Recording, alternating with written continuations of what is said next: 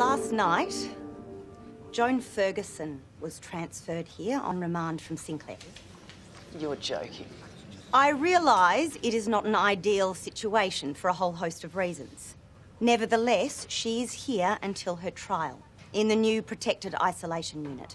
She is to have no interaction with other prisoners and minimal contact with staff. It goes without saying I want this kept under wraps. So if anyone has anything to say about this matter, now is the time to raise it. Okay. Nurse Radcliffe, the contraceptive program, you are to stress its voluntary nature to the women. Yeah, I can do that. Good.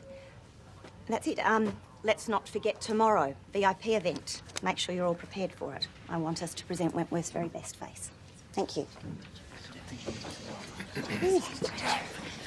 It's your fault, you know. Ferguson being here. How's that? You should let her burn.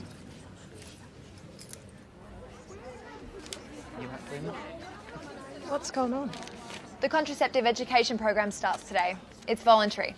What is this, Nurse Radcliffe? You want to put us on the pill? The program is to educate women about unwanted pregnancies on release.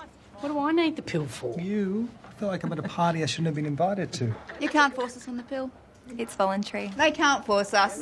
It's voluntary. What are you trying to pull here? I'm just the messenger. If you stop carrying on, I'll explain the program What's to you. What's to explain? This is chemical control. This is what this is. All right, all right, all right, all right. Everyone, hey, everyone calm down, please.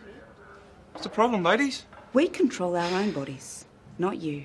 The program is voluntary, Proctor. That's what I've been telling her. PMS relief. What bullshit. Well, you can choose not to participate.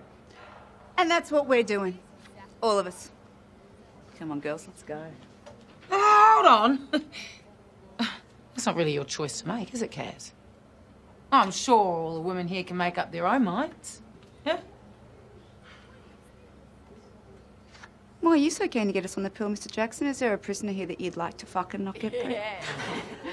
Watch it, Proctor.